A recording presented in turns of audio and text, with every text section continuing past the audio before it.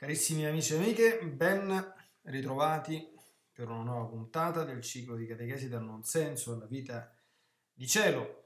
Siamo arrivati alla puntata numero 9 e continuiamo questa sera il viaggio, a mio avviso, molto molto importante nell'ambito del discernimento degli spiriti. Abbiamo la volta scorsa iniziato la lettura commentata di un testo molto antico ma molto attuale e molto importante, l'ho citato la volta scorsa, il testo dello, di Giovanni Battista Scaramelli, datato 1800, ma come sappiamo i principi della vita spirituale eh, una, una, volta ben individuati sono universali e travalicano i confini del tempo e della storia. Il più grande maestro a cui tra l'altro... Eh, lo Scaramelli deve praticamente quasi tutto perché attrae, attinge quasi tutto da lì, è Sant'Ignazio di Loyola che è vissuto come sappiamo nel secolo XVI, quindi ai tempi della reazione diciamo così della Chiesa Cattolica alla riforma protestante e quindi conservano tutta la loro straordinaria attualità. Dentro il nostro percorso l'importanza di questa tappa, siamo ancora nella prima parte del, di questo ciclo di catechesi, lo ricordo sempre, la più importante, diciamo così, se vogliamo, sarà la seconda, quindi eh, il percorso di guarigione, di liberazione e di conversione. Però la prima cosa, come disse Gesù nel Vangelo, è che sono, non sono i, i, i sani che hanno bisogno del medico, ma i malati. il, il, problema è che la stragrande maggioranza dei malati di queste malattie, quindi delle malattie eh, spirituali, e non sono consapevoli di esserlo, quindi sono malati senza sapere di esserlo, così come noi siamo peccatori purtroppo senza sapere di esserlo. E una tappa fondamentale nella crescita eh, cristiana è la presa di coscienza del peccato. Questo l'abbiamo già accennato, insomma, no? Quindi dovremmo Stiamo in una fase, quindi se ricordate le puntate precedenti facciamo un pochino come sempre una piccola carrellata, no? abbiamo cominciato a vedere all'inizio la scoperta di me stesso, delle mie origini, le ferite ricevute, eh, nell'esistenza dentro casa, nei, nei, rapporti interpersonali da bambino ad adolescente e quindi eh, a seguire le immagini di Dio false e distorte che possono che io posso avere in qualche modo immagazzinato dall'ambiente e dalle cose che ho vissuto e che condizionano anche il mio rapporto con Dio, o forse non ho mai fatto nascere un rapporto personale con Dio. E poi abbiamo cominciato a vedere qualcosa di quello che abbiamo fatto, quindi del male che abbiamo prodotto con le nostre azioni, quindi l'importanza anche poi di imparare a conoscerlo e riconoscerlo. Abbiamo cominciato a vedere alcune dinamiche psicologiche, eh, alcuni comportamenti, alcune reazioni che noi abbiamo alcune dinamiche distruttive, si chiama così quella catechesi, e, e, e, le paure, soprattutto ecco, la, la sorgente fontale di tutte le dinamiche distruttive, che è questa grandissima paura che ci portiamo dietro, abbiamo poi visto come introdotto alcune, alcune delle regole di Sant'Ignazio su come il diavolo ci tenta al male, quindi il fenomeno della tentazione, che è fondamentalmente un inganno, cioè mh, speriamo di riuscire a, a, smascherare questa prima parte, poi vedremo quando, quando parleremo dei, dei, temperamenti, della finestra di Ioari, delle relazioni, dei territori, dei meccanismi di difesa. alla fine di questa è ancora lunga la prima parte, purtroppo. e, però speriamo di uscire da, questo, eh, da questa full immersion con una visione realistica di noi stessi che ci faccia andare da Gesù, come abbiamo ascoltato nel canto eh, che introduce, che ha introdotto questa puntata di questa sera, dicendo Gesù, vieni me, guariscimi, basta che tocchi solo un lembo del tuo mantello. Ecco, eh, abbiamo detto nelle prime puntate che questo episodio della Samaritana, che ha ispirato un testo bellissimo dell'amico e maestro Don Fabio Rosini, che suggerisco a tutti quanti di leggere, eh, ne abbiamo già parlato, eh, è uno delle fonti, diciamo così, di ispirazione, anche quando non lo cito testualmente, però anche proprio del senso di questo, di questo percorso. Bene, basta con l'introduzione che se no facciamo troppe chiacchiere, andiamo avanti con lo Scaramelli. La volta scorsa abbiamo visto le prime grosse differenze tra l'azione dello spirito buono, dello spirito divino e quello diabolico in ciò che attiene al nostro intelletto. D'accordo? Oggi facciamo uno step seguente molto importante, cioè come lo spirito buono e lo spirito diabolico agiscano in maniera diametralmente opposta in relazione alla volontà. Attenzione perché i principi di questa sera, beh, questo è tutto importante, però sono veramente straordinari. Ne abbiamo, la volta scorsa erano soltanto 6, oggi ce ne avremo, audite, audite, 11, quindi 11 con i loro contrari, quindi vi ho già detto che eh, io mi sto, eh, come dire, sto seguendo una sintesi che ho fatto del testo dello Scaramelli che dovrebbe trovarsi in giro online, molto molto lungo e molto esteso, e al termine chiaramente di queste conversazioni, non prima lo Scaramelli, potete, scar- potete scaricarlo fin da adesso, quindi nel, nell'ultima puntata in cui parlerò di queste cose, poi farò in modo di eh, creare un link dove è possibile eh, scaricare lo schema, se uno quindi poi volesse riprendere e risentire eh, o rilavorare insomma su, su, eh, su queste cose che ci stiamo dicendo. Allora, Qual è il segno distintivo dello Spirito di Dio? Questo però è da scriverselo sul letto, eh? D'accordo? Sempre questo, il primo, più importante di tutti. E così il contrario è proprio il segno distintivo dello spirito del male. La pace. Ma la pace profonda è uno dei caratteri più sicuri dello spirito di Dio. Dove la pace non c'è, c'è sempre il sospetto che tutto ci sia meno che lo Spirito di Dio. Al contrario, è caratteristica costante e certa della presenza dello spirito diabolico l'inquietudine, il turbamento e l'agitazione.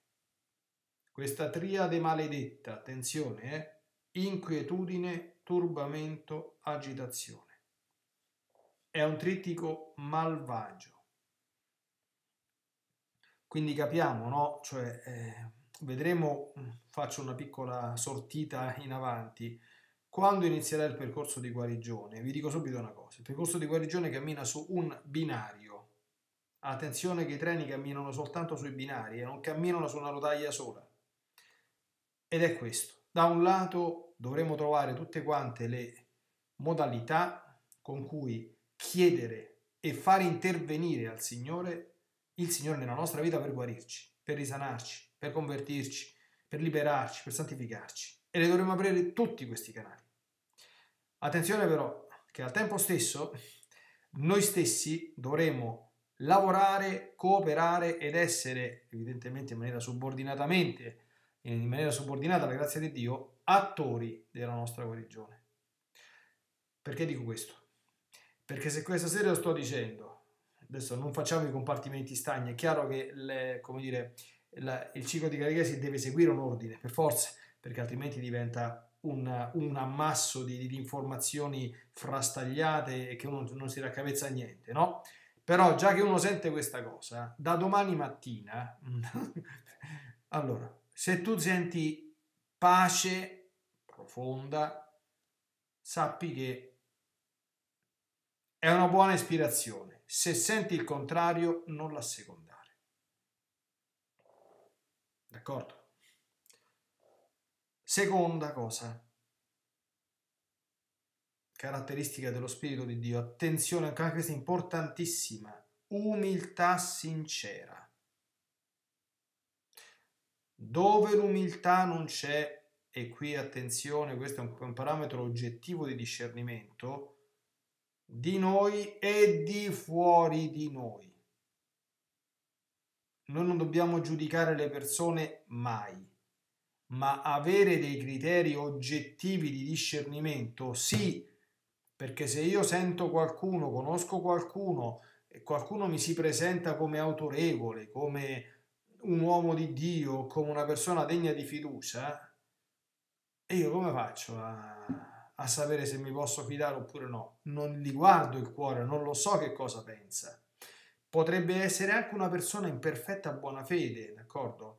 Ma per, perché le persone ingannate sono in perfetta buona fede.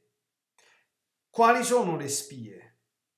Sta attento. Se non c'è l'umiltà, qui siamo di fronte ad una cosa sospetta. Prima di fidarti ed affidarti, fai attenzione. Perché dove c'è lo Spirito di Dio c'è sempre l'umiltà. Attenzione all'umiltà nelle sue due manifestazioni. Primo di intelletto, consistente in una bassissima concezione di sé. Attenzione, quella bassissima concezione di sé se noi ce l'abbiamo, lo sappiamo e non dobbiamo dirlo a nessuno. Ma se noi ce l'abbiamo, questa cosa traspare dal nostro operato. Non ce l'ha chi dice in pubblico, ah, io sono eh, un grande peccatore, io sono questo, sono quest'altro. No, no, no, no, no, non vi fidate mai. Perché tutti possono dire di essere dei grandi peccatori, poi bisogna vedere se ci credono che sono dei grandi peccatori. Quindi umiltà sia di intelletto che di volontà, cioè il disprezzo di sé, il desiderio di essere disprezzati e attenzione, la sottomissione agli altri. Ieri sera ho fatto un'ora santa, ho fatto, non è che l'ho fatta, abbiamo ascoltato un'ora santa dove c'era il passo della lettera di San Paolo ai Romani del capitolo tredicesimo. tredicesimo. È un capitolo dove parla, San Paolo ripete come un, come, quasi come un mantra, cioè in continuazione, sottomessi, sottomessi, sottomessi, sottomessi, sottomessi. A chi? Alle autorità. Alle autorità tutte, tutte quante. Ecclesiastiche e civili. Parla di spada, parla di cose. Allora, io parlando con qualcuno, dico, adesso questa la metto online e ci metterò proprio come titolo, la faccio apposta, lo faccio, eh, adesso non, mi ricordo, lo vedo un attimo al volo, eh. Eh, dico essere sottomessi all'autorità, gli ho dato questo titolo, qualcosa del genere, dico vuoi vedere che non se lo vede nessuno? Allora, io diciamo che di media, con, un, con 24 ore, diciamo così, di una cosa che sta online, adesso non voglio fare lo splendido, però diciamo che se è una cosa che va non tanto bene, sta intorno alle 700-800 visualizzazioni. Se è una cosa che va bene, in 24 ore può raggiungere anche 1500 visualizzazioni. Se sta spopolando, in 24 ore può arrivare a 3000 visualizzazioni. Questi sono i miei modesti numeri, c'è gente che, che sfonda dei numeri, a me non interessa tanto i numeri, però mi servono anche a me, no? Quante visualizzazioni ha il video di ieri sera? 281 si chiama I rapporti con le autorità costituite. Io ero sicurissimo, d'accordo, che avrebbe avuto poche visualizzazioni, perché su questo tema siamo tutti quanti ah no, no, no. E invece sì, e questo tra l'altro è uno dei segni più sicuri di umiltà, perché l'umiltà si dimostra nell'obbedienza, nello stare sottomesso, d'accordo? Perché il superbo non riconosce nessuno sopra, sopra di sé, non lo vuole riconoscere.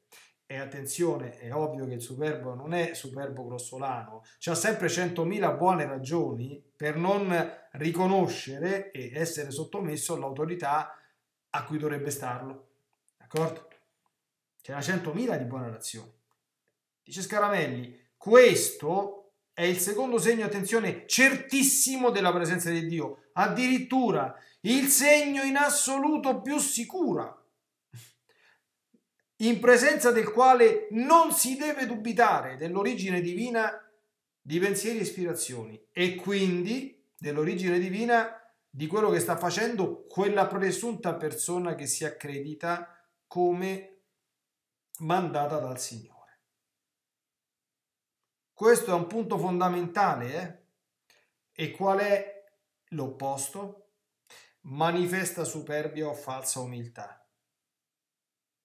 Allora, la manifesta superbia si vede quando una persona è superba, arrogante, sprezzante, parla male del prossimo, direttamente o indirettamente, quindi come dire, dà l'impressione che il mondo sono una banda di, di sciocchi, l'unico che capisce qualcosa sono io.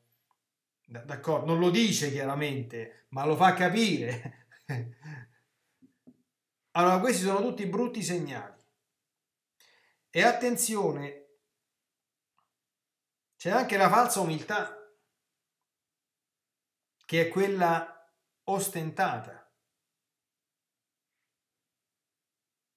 A livello interiore, quando si tratta di un pensiero che ci prende a noi, la falsa umiltà attenzione, questa è una cosa molto... credo che l'abbiamo già parlato quando abbiamo visto alcune cose nelle puntate precedenti, ma è il disprezzo di sé distruttivo, quello che porta alla disperazione. Quella non è umiltà, cioè l'umiltà è una cosa bellissima, meravigliosa.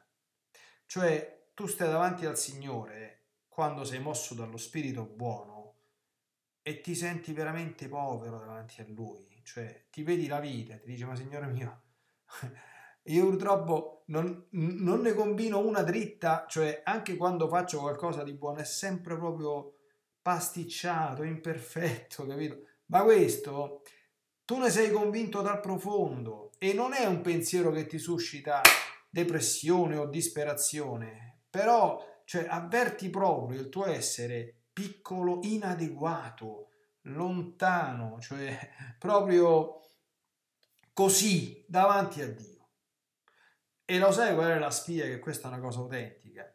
Che se qualcuno ti rimprovera, lo, lo accogli, lo correggi, cioè lo, lo accogli, se, se ti arriva una, una correzione, l'accogli. Se ti arriva una lode, non ti fa né caldo né freddo, cioè non, non, non, avverti dentro di te quel gongolare e neanche ne vai a ricercare, perché la lode, la, la, la lode degli uomini non serve a niente, non serve. È meno che paglia, è meno che vento, è zero. Tra l'altro il giudizio degli uomini non conta niente, non conta, zero. Conta il giudizio di Dio, non conta il giudizio degli uomini. Se tutti ti dicono, se tutti ti dicono buono e tu sei cattivo, tu cattivo rimani agli occhi del Signore. Se Dio pensa che tu sei buono e tutti pensano che tu sei cattivo, tu cattivo rimani agli occhi del Signore. Allora, terzo carattere dello spirito buono in relazione alla volontà. Ce la faremo a finire l'ultima puntata, speriamo. Ferma confidenza in Dio unita a santo timore di Lui. Attenzione ferma confidenza, unito a santo timore, a santo timore. Insieme, esempio, chi ha troppa confidenza perde davanti a Dio quel senso di riverenza, di adorazione, quindi fa dei gesti inconsulti, io li vedo fare, l'ho visto fare tantissime volte, eh, quindi passo davanti al tabernacolo, non mi faccio manco un inchino perché tanto Gesù è amico mio, gli faccio ciao Gesù e me ne, me ne passo di lungo. E che passi di lungo? Cioè, è chiaro che Gesù è, è tuo amico, ma è, ma è, anche il tuo Dio. Quindi tu gli dici ciao Gesù facendo la genuflessione. Tanto per fare un esempio sciocco. Ferma confidenza unita a santo timore la misericordia di Dio non ci deve mai far dimenticare la sua giustizia. Scrive lo Scaramelli che i peccatori confidano vanamente e temerariamente nella misericordia di Dio. La proprietà opposta è la diffidenza in Dio o la vana sicurezza. Forme di diffidenza, per esempio, pensare che Dio un peccato non possa perdonarlo. Secondo, diffidare che Dio aiuti nel cammino di santificazione. Falso. La vanna sicurezza, l'abbiamo già accennato, un'insensata fiducia nella misericordia di Dio, che quando è insensata e non unita appunto al santo timore di lui, diventa in realtà un incentivo a peccare e senza manco troppi scrupoli. Quarta caratteristica, attenzione anche questa è un altro aspetto fondamentale, volontà pieghevole, cioè duttile oppure docile, flessibile non rigida. Viene dal diavolo invece una volontà recalcitrante a cedere all'obbedienza, caparbia, proterva, che non è disposta a mettersi in discussione, che non ha sempre quell'atteggiamento cauto. Noi per quante cose sappiamo, per quante cose possiamo essere più o meno sicuri, ma te chi te l'ha dette? Cioè, quando poi si entra nelle nelle materie, diciamo così, spirituali, la cautela deve essere super, deve essere, perché noi balbettiamo queste cose. Cioè, non è che abbiamo la, chi, cioè, non abbiamo l'evidenza assoluta di tante questioni. Allora, la volontà pieghevole ha questa capacità di essere sempre aperta ad altro, ad essere guidata, ad essere condotta. Questo riguarda soprattutto eh, la docilità e l'obbedienza nei confronti dei rappresentanti di Dio, sia quelli, diciamo così, costituiti gerarchici, sia per chi ce l'ha anche il confessore, il direttore spirituale, quindi questa inclinazione, questa tendenza a sottomettere il proprio giudizio ad altri a non avere l'ultima parola, a non costituirsi giudici di ultima istanza e andare dritti come treni che non ti ferma nessuno, ti sei messa in testa quella cosa, sei convinto di quella cosa. Io dico sempre, se scende il nostro Signore Gesù dalla croce, d'accordo? Tu continui ad andare avanti dritto per la tua strada.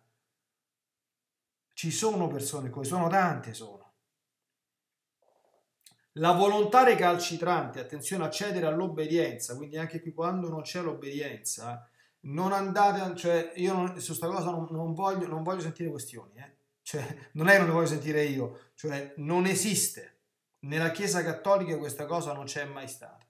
Quando non si vede l'obbedienza è sempre qualcosa di sospetto. Sempre lo Scaramelli dice che la volontà recalcitrante accedere all'obbedienza, che è il contrario della volontà pieghevole, è uno dei segni più chiari dello spirito cattivo, accompagnato da chiusura di coscienza e riluttanza a parlare dei propri problemi e tentazioni col direttore spirituale, cosa che il demonio teme più che mai, dato che basta svelare la tentazione per togliere ogni potere. Ricordate Niente teme di più il demonio che di essere scoperto. Ma per essere scoperto, questo lo vedremo anche quando parleremo della finestra di Ioari, c'è l'io cieco. C'è l'io cieco. Tu non te li vedi da solo gli inganni, non te li vedi da solo le trappole in cui il Signore, in cui il diavolo ti, ha, ti, ha, ti sta spingendo, ti sta facendo cadere. Tu devi avere l'umiltà di confrontarti, di chiedere consiglio, di chiedere a una persona che ti vede da fuori, ma tu questa cosa come la vedi? E lo devi ascoltare. Non devi andare lì che, che tu hai già, hai già, deciso. Cioè, tante volte, cioè, persone che chiedevano eh, la direzione spirituale vengono, da, vengono lì, ti parlano, fanno la testa così in un sacco di tempo. Dopodiché, appena tu provi a dirgli guarda che forse no, no, no, no, questo non, cioè, di che vogliamo parlare? Va bene figlio mio, va bene figlio mio, cioè se questa è la cosa, cioè ti voglio bene, però non me, cioè, perché tu non puoi venire qui a dirmi una montagna di cose aspettando semplicemente che io ti metta l'imprimato e ti dica bravo. Se magari, se è possibile, cioè, molto molto volentieri, ma se non è possibile non posso fare questo. Non posso non devo fare questo. La quinta cosa, attenzione, rettitudine d'intenzione nell'operare.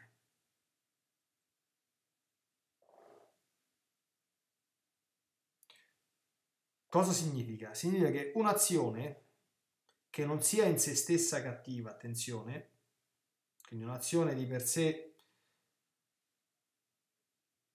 Fatta per Dio è buona, fatta per diletto è carnale, fatta per vanità è mondana, fatta per fini torbidi è diabolica. Vogliamo prendere il digiuno? Tanto per fare un esempio, il digiuno fatto per Dio è divino. Il digiuno fatto per la linea quindi perché devo essere bello e perfetto, è carnale o è mondano, per vanità e per importanza. Cioè, se uno è semplicemente un gusto estetico, quindi che voglio essere bello, è mondano. Se è un digiuno perché io voglio essere bello per essere attraente, seducente, puntini puntini, ha un fine particolare, è carnale, giusto? E c'è un digiuno diabolico?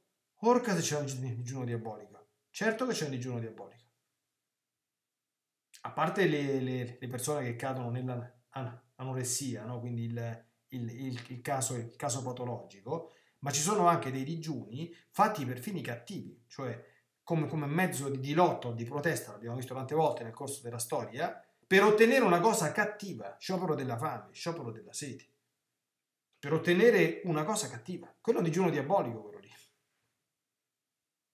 Quindi, capite, no? il digiuno è un atto che a seconda del fine con cui lo compi, anche Gesù dice nel Vangelo, se fate digiuno per essere visti dagli uomini, quindi fine mondano, avete già avete, per vanità, per farti ritenere santo, hai già ricevuto la tua ricompensa. Evidentemente, quando non c'è questa rettitudine di intenzione, ciascuna di queste intenzioni cattive viene dallo spirito cattivo. Quindi non basta vedere quello che si fa. Quando quello che si fa, e anche se quello che si fa è un'azione apparentemente buona, la stessa cosa vale con la preghiera, no? Cosa dice Gesù nel Vangelo? Quando pregate, non dovete pregare con l'intenzione di farvi vedere. Capite? Per esempio, quando si prega in pubblico, se possibile, bisogna assolutamente cercare di evitare ogni cosa che possa in qualche modo attirare su di noi l'attenzione e far pensare a qualcuno che siamo santi quando non lo siamo. Ok? Quindi mai fare dei gesti esterni appariscenti o cose di questo genere, perché falli quando sei in privato, almeno sei sicuro, cioè togli la, la, la possibilità, perché se tu lo fai in pubblico, dici ma io lo faccio per amore di Dio, sei sicuro? non, tu sei proprio sicuro, tu potresti dire al 100% che non c'è quella sottile compiacenza, magari che non ne sei tanto, compie, tanto consapevole, che quello ti vede e dice ammazza questo che santo, guarda questo come prega, oh, mamma mia, beato lui, beata lei. Sesto carattere, pazienza nelle tribolazioni, tutte. Pazienza nelle tribolazioni. Pazienza nelle sofferenze del corpo, cioè malattie, dolori, pene, come le portiamo, come le sopportiamo. Quelle che ci manda il Signore e quelle che abbracciamo per amore di Dio con spirito di penitenza. Le sofferenze del corpo le sofferenze dello spirito, che sono molto peggiori di quelle del corpo, le persecuzioni. Come va con le persecuzioni? I disprezzi del prossimo, le calunnie, le umiliazioni. Lo spirito buono ti fa fare il pieno di queste cose e te le fa sopportare con pazienza per amore di Dio. Non è finito, eh? Le sofferenze degli affetti, perdita dei parenti. Quando ti muore una persona cara, che fai? Degli amici, muore o ti, o ti delude, ti lascia. I tradimenti. Hai mai avuto qualche tradimento, qualche persona che ti ha tradito? Non soltanto da un punto di vista, come dire, marito-moglie, adulterio, una persona di cui ti fidavi, una persona a cui gli hai affidato dei segreti, di cui dicevi su questo ci posso mettere la mano sul fuoco e ti ha tradito. Una delle cose più brutte che possa succedere sul pianeta Terra. Gesù l'ha avuta questa cosa qui, si è avuto Giuda. Gesù tutte queste cose le ha conosciute tutte quante. E poi le delusioni. Le delusioni. Quando qualcuno ti delude. E come reagisci? Finite? No, ce n'è un'altra. le sofferenze nei beni. Come va quando perdi il lavoro? Quando perdi dei beni? Quando stai in precarietà economica? O quando stai in povertà? Quando il Signore ti, ti prova su queste cose. Come va?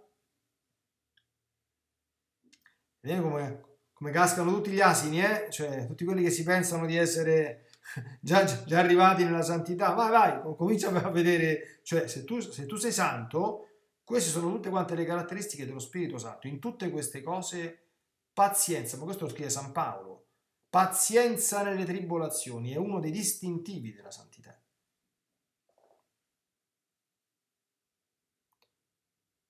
Allora, quelli che sono perfetti scrive lo Scaramelli, godono di queste cose. Quindi si, si rallegrano quando gli arrivano e le desiderano quando non ci stanno, i perfetti. Quelli che sono proficienti, quindi che stanno camminando verso la santità, le accettano, abbracciano la croce. Quelli che sono principianti è un miracolo se si rassegnano brontolando. D'accordo?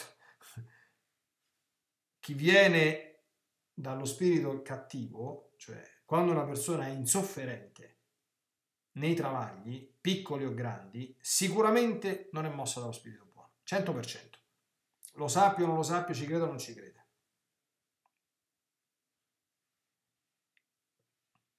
Settimo aspetto, la mortificazione volontaria e l'abnegazione di sé temi oggi del tutto, come dire, fuori moda, ma molto quaresimali. Questa, questa catechesi capita in quaresima. Gesù ha insegnato nel Vangelo che chi è, eh, come dire, suo discepolo, rinnega se stesso, odia la sua vita in questo mondo. San Paolo ha scritto, tratto duramente il mio corpo e lo riduco in schiavitù. Tutta quanta l'aspetto dell'ascesi, della penitenza, della mortificazione cristiana non sono eh, caratteristiche appartenenti a epoche storiche passate, siccome i medievali erano masochisti, non avevano capito come noi dottoroni contemporanei che il corpo è importante, che ha una sua grandissima dignità e quindi dobbiamo sempre soltanto lisciarlo e trattarlo bene perché sennò poi chi lo sa che succede. E quindi queste cose non ci riguardano più. Ma io ho molti dubbi perché tutte quante le persone che hanno camminato dietro il Signore, non tutti quanti attraverso i supereroismi e le austerità insomma impressionanti che hanno compiuto alcuni santi, c'è una proporzione, c'è, una, c'è, c'è un itinerario, c'è una crescita. E non tutte le forme di, di, di mortificazione sono compatibili con tutti gli stati di vita. Queste sono cose di cui quando una persona comincia a camminare deve trovare modo di confrontarsi con il confessore, con, cioè, quindi non può, però in se stessa, la, in se stessa, la mortificazione volontaria, l'abnegazione di sé, quindi la lotta contro le proprie passioni, quindi è, è un evidentissimo segno dello spirito buono. Il contrario, campo libero a tutte le passioni. Allora lo spirito cattivo gioca, gioca, gioca come il gatto con il topo. Alcuni esempi. Per esempio, a seconda dei temperamenti, a uno lo accende in continuazione la piccia, dicono a Napoli, con l'ira, a un altro con la lussuria, a un altro con la superbia, a un altro con l'invidia, a un altro con la gola, cioè i sette vizi capitali che sono quelli che sono formalmente contrari ad ogni forma di mortificazione, no? Se io mortifico i sensi e le passioni, la lussuria crepa, la gola crepa, l'ira crepa, l'avarizia crepa, l'accidia crepa, l'invidia crepa la superbia pure. ecco. Ottavo caratteristica, sincerità, verità e semplicità. Attenzione, la sincerità si oppone formalmente alla doppiezza o all'inganno, che è proprio tipico dello spirito cattivo. Essere sempre sinceri, essere sinceri, attenzione, non significa assolutamente, assolutamente veri- dire tutto. Ma quello che si dice deve essere sempre vero. Secondo, la veridicità. La, verici- la veridicità è il contrario della finzione e della frode.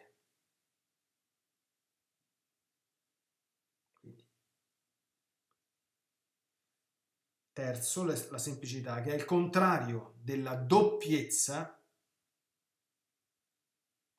e della simulazione, del fare finta. Tutte quante queste cose sono proprie chiaramente del menzognero e del padre della menzogna per antonomasia, il quale è ingannatore, è un fraudolento, è un doppio.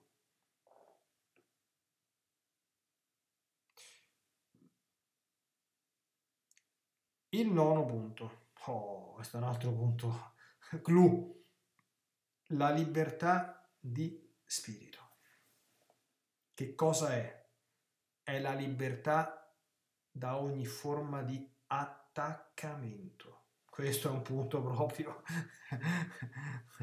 D'accordo? Mentre lo spirito cattivo aizza o porta sempre all'attaccamento o alle creature o alle cose materiali o anche alle cose spirituali.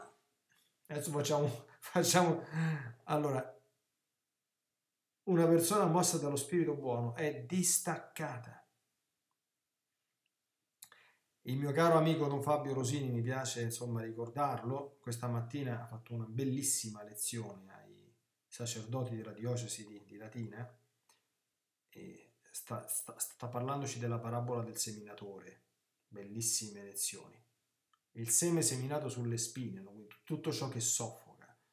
Ha detto, ha, scritto, ha detto delle cose stupende sul distacco, distacco, distacco.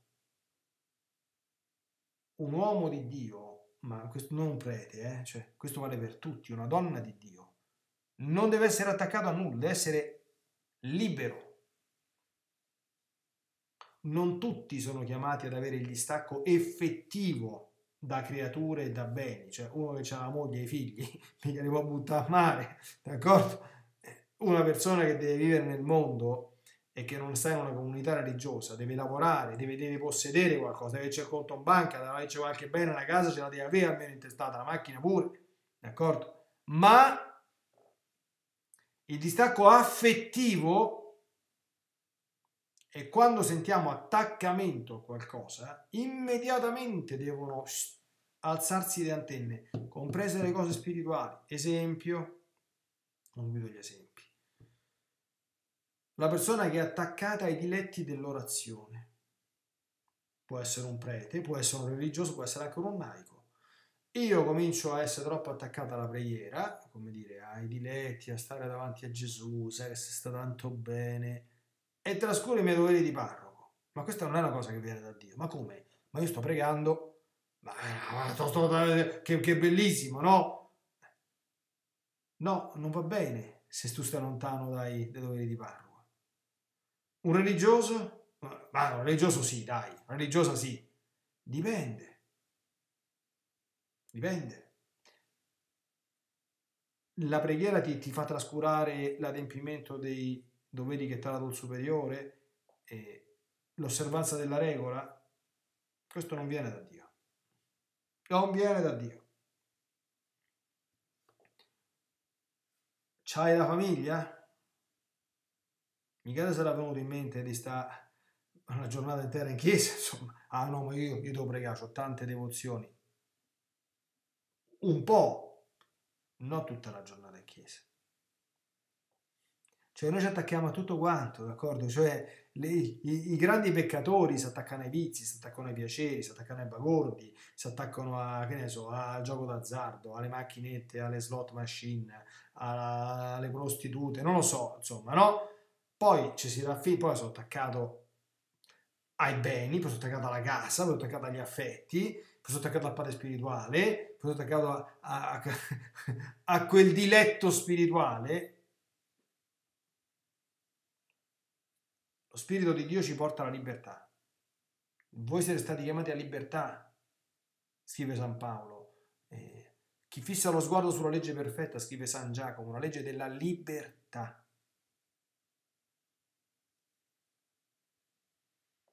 Quindi nei gradi più elevati di santità cessa anche l'attacco alle cose terrene oneste e alle creature al proprio pensiero, e questo è il sacrificio più grande, ai doni di Dio.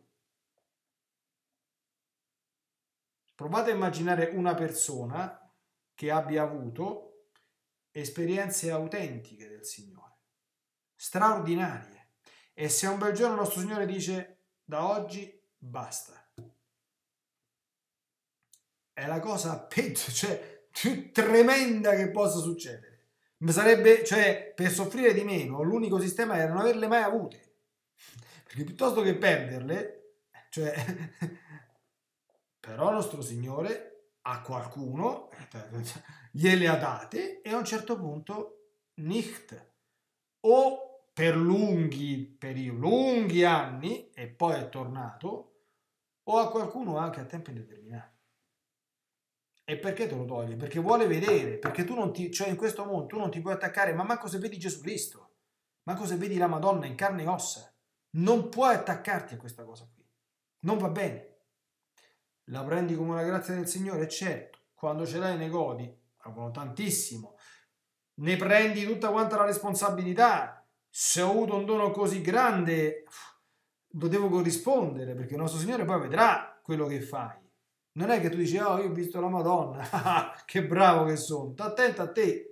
Questo ti dà una responsabilità enorme da un punto di vista di dovere di santificarti. E se poi te lo toglie, fiat voluntas tua, zitto e mosca. Chiaro? Perché non c'è, nessuno ha nessun diritto a una cosa di questo genere. E in questa vita è comunque una cosa straordinaria. In paradiso potremo stare attaccati a tutti quanti i diletti santi che vivremo. Qui no. Qui dobbiamo essere sempre attaccati a una cosa sola, che è la volontà di Dio. E basta. Decimo, quindi, l'attaccamento alle creature, alle cose anche spirituali è sempre sospetto, sempre. Quando c'è attaccamento, anche quando non è attaccamento a cose disordinate, quantomeno stiamo dinanzi a persona molto lontana da un cammino serio di perfezione.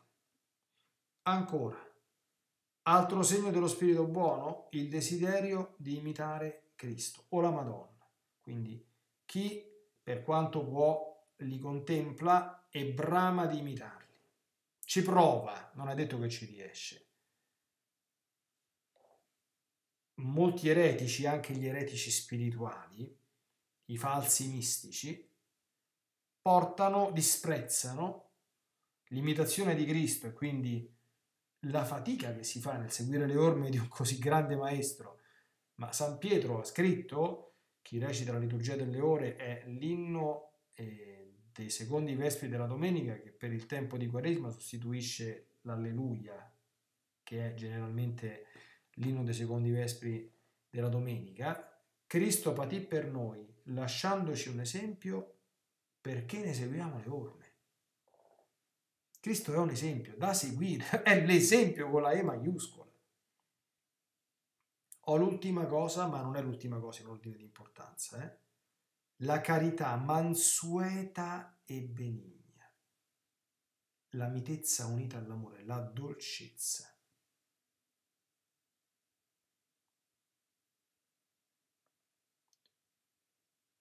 E sapete quali sono le cose opposte a questo?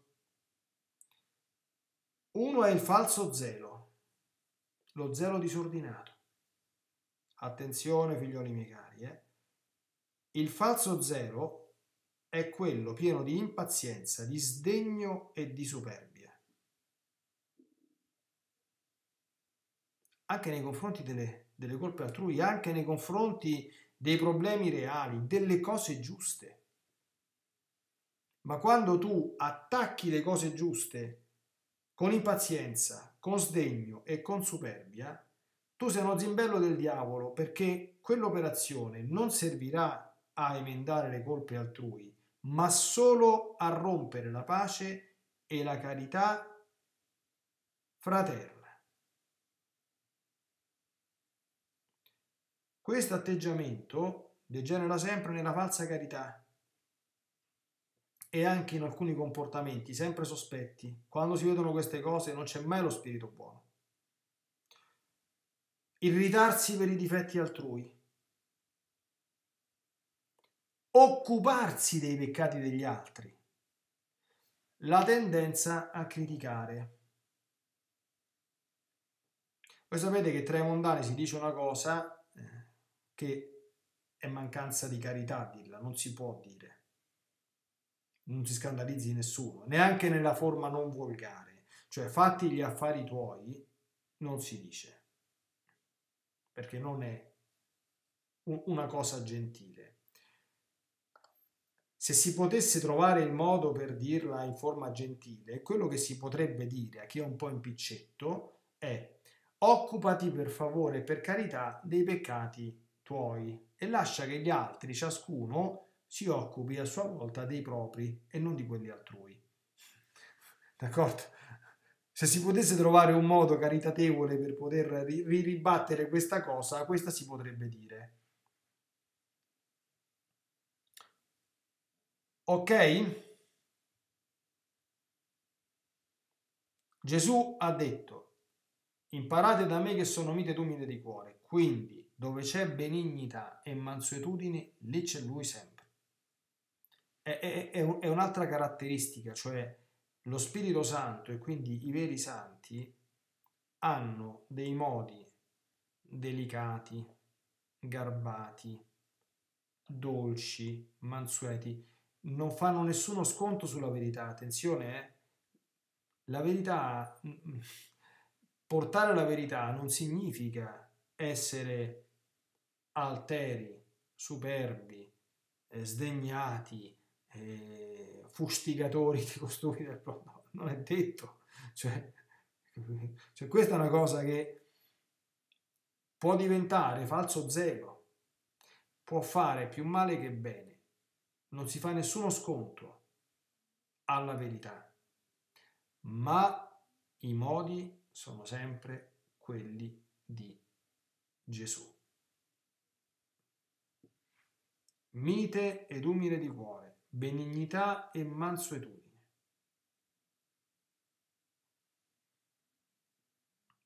Allora, abbiamo un altro pochino di tempo, facciamo un altro paragrafo adesso. Non lo so se lo finiamo, vediamo. I modi con cui lo spirito buono opera nelle anime. Allora, si tratta di sette punti. Questa è una sintesi, figlioli miei cari, quindi immaginate. Allora, lo Spirito Divino anzitutto muove sempre a ciò che è buono, onesto e santo. Quindi quando una cosa in se stessa non è buona, non è onesta e non è santa, non siamo mossi da Spirito buono. Ora il problema è che questa mozione lo Spirito Santo la realizza in infiniti differenti modi che dipendono dalle disposizioni soggettive, dai temperamenti delle persone, dalle circostanze concrete, da come la persona è, da quello che si porta dietro, dalle cose che abbiamo visto nelle puntate precedenti. Ecco, e quindi eh, in concreto, numero uno, anzitutto ordinariamente lo Spirito Santo muove al bene in generale come primo acchitto, ma non mostra in particolare il bene che vuole che sia eseguito. Perché? Perché vuole che la persona si cominci a mettere in cammino e ci arrivi lei a ciò che vuole in particolare, anche qui chiedendo consiglio. Ripasso di quanto detto prima. Esempi, cosa vuol dire? Un giovane sente la chiamata a consacrare la vita a Dio.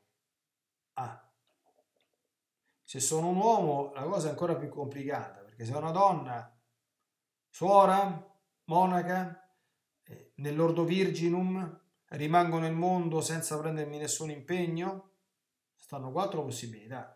Se è un uomo, c'è pure prete, prete, frate, monaco, di clausura, non di clausura, eh, frate, ordine religioso, oppure, che ne so, un religioso di vita apostolica, eh, o rimango anche io nel mondo,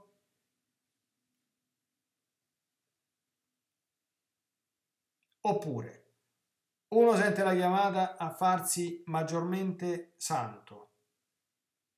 Sento di dover fare un cammino di perfezione. Sento che il Signore vuole qualcosa di più da me. Cosa? Come?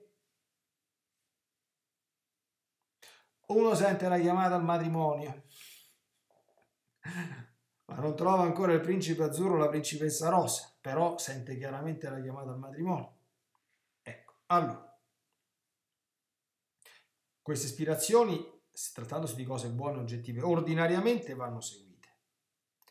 Ci si comincia a pregare sopra, a chiedere al Signore che ci aiuti e gradualmente, dopo aver chiesto, chiedo, a, a, chiesto aiuto a Dio, si chieda consiglio a uomini dotti spirituali e prudenti, aprendo la coscienza e ascoltando i loro consigli.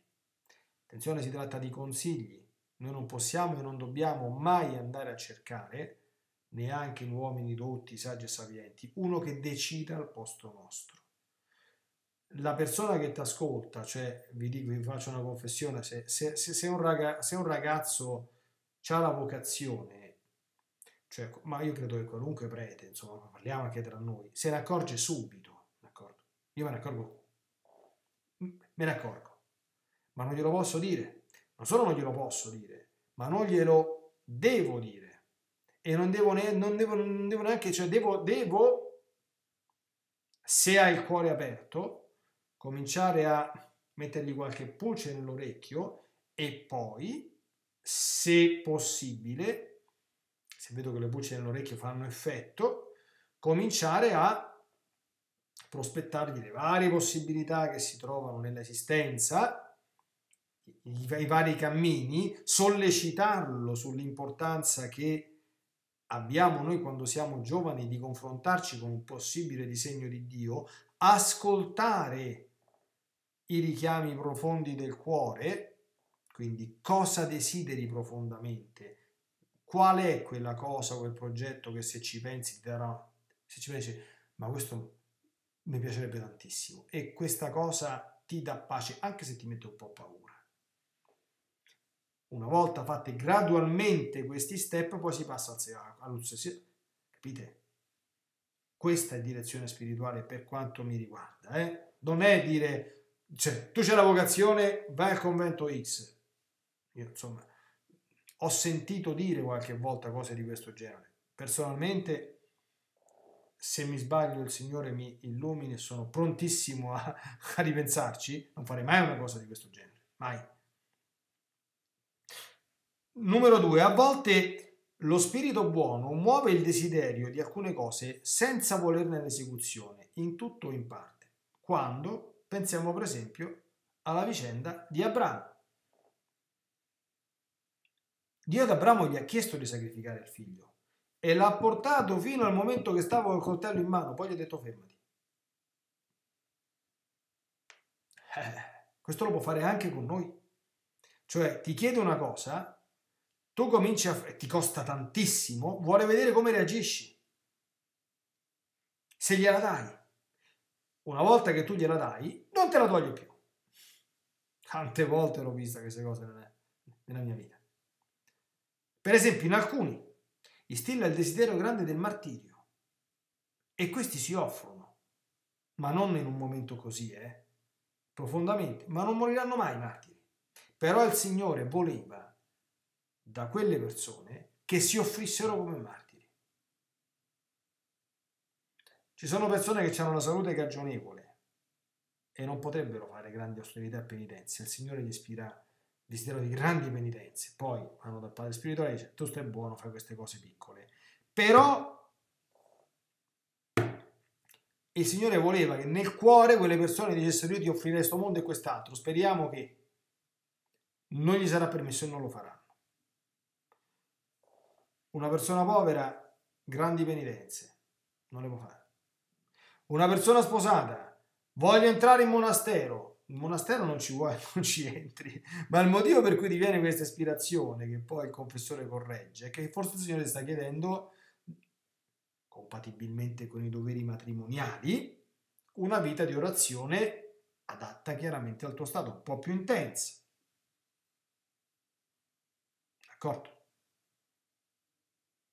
Una persona spirituale, desiderio di grandi mortificazioni straordinarie, perché vuole che affligga il corpo con una discreta mortificazione, non con le austerità di San Pietro d'Alcantara, insomma, ma nemmeno semplicemente con la, con la rinuncia al cioccolatino, che per carità già è qualcosa.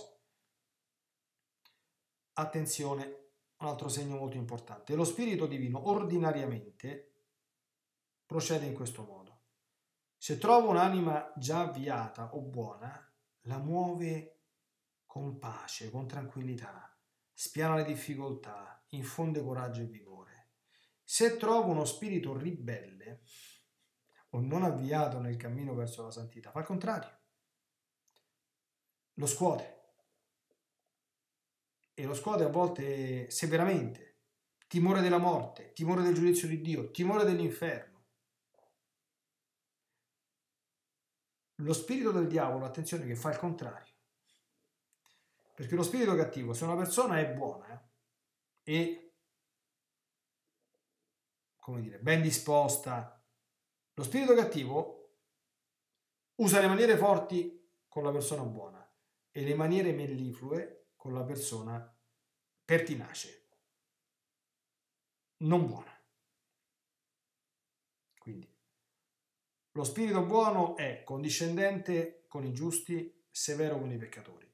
Lo spirito cattivo è duro con i giusti e condiscendente con i peccatori. Quarto punto.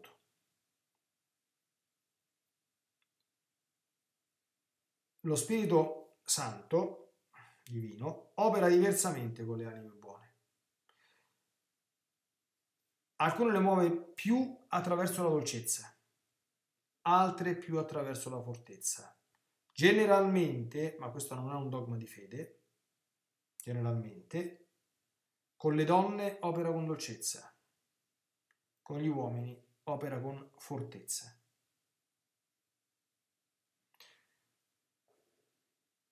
Quando si hanno dei casi di preghiera infusa, ancora, non so se avremo modo di parlarne in questo ciclo di, di catechesi, di, di di, di preghiera infusa, tanto per capirci, la preghiera infusa è quella preghiera profonda a cui non arriviamo con i nostri sforzi, quindi a forza di braccia, diceva Santa Teresa, ma che tu ti metti in orazione e quasi istantaneamente entri in preghiera molto profonda. Chi, chi, l'ha, chi l'ha vissuto lo, lo capisce.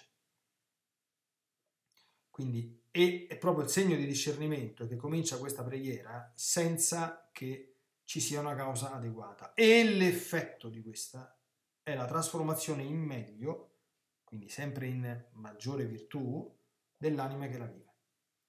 Infine, attenzione, a volte lo spirito buono si nasconde e lascia l'anima arida e ottenebrata per suo maggior bene. E questo lo fa a tutti i livelli, con i principianti, perché i principianti che conoscono il Signore si attaccano subito ai diletti che Lui concede all'inizio e arriva il momento in cui bisogna staccarli dal seno, d'accordo? staccarli, ecco, stop. Quelli che stanno progredendo nel cammino della perfezione, lo stesso, devono essere liberati dagli attaccamenti disordinati ai piaceri che ci sono anche nella vita spirituale e a se stessi, quindi a fare le cose perché gli piace, perché ci trovano una compiacenza. Con quelli che tendono alla perfezione li lascia per tempi più o meno lunghi in aridità o abbandoni, ma questo perché la preparazione prossima all'ultimo grado della vita interiore, che è l'unione mistica con Dio. Okay. Per i direttori spirituali, quando una persona è consolata, deve essere moderata, quando una persona è desolata, deve essere incoraggiata. Bene, speriamo che è aumentato un pochino il discernimento per oggi, poi quando ci saranno certamente le dispense a disposizione si potrà ritornare e rivedere queste cose, non, non restano con, sentendole una volta, bisogna poi rimeditarle e ruminarle. Però penso che concorderà chi ha, chi ha sentito queste cose con me, che contribuiscono non poco a conoscere qualcosa di noi stessi e soprattutto ciò che si muove nell'intimo del nostro cuore. Ci vediamo se Dio vuole la prossima settimana. Un buon fine settimana a tutti, Dio vi benedica e la Madonna sempre vi protegga. A presto.